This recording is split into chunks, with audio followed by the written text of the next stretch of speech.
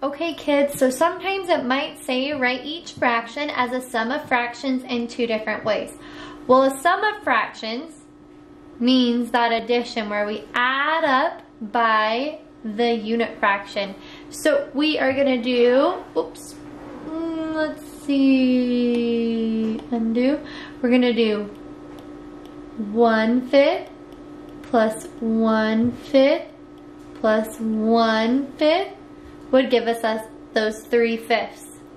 Another way that I could do this is I could change it because it's repeated addition. I could do, I have three groups of one fifth. So I could write it as a multiplication equation where I have three times one fifth. So this would be the first way and that would be the second way. So let's do another one. I have six eighths and I need to change it and make it into two ways of doing sum of the unit fractions. So I'm going to do 1 eighth plus 1 eighth plus 1 eighth plus 1 eighth plus 1 eighth. 1, 2, 3, 4, 5 plus 1 eighth. So that would be 1, 2, 3, 4, 5, 6 eighths. Remember, repeated addition is the same as multiplication, so I could also put, because I have six groups, I have six of those 1 eighths. I could do 6 times 1 eighth, so those are the two ways. The first way is by writing it as the repeated addition. The second way is the multiplication. Okay, let's try this one.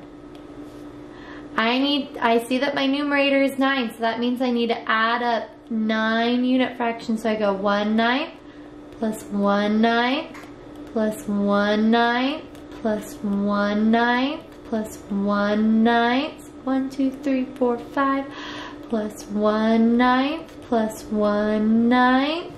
1, 2, 3, 4, 5, 6, 7 plus 1 ninth plus 1 ninth. So 1, 2, 3, 4, 5, 6, 7, 8, 9 ninths. So that would be that 9 ninths right there. Or I can write it because I have 9 of those. My whole number of 9 times the unit fraction 1 ninth. First way, second way. Okay, let's do one last one.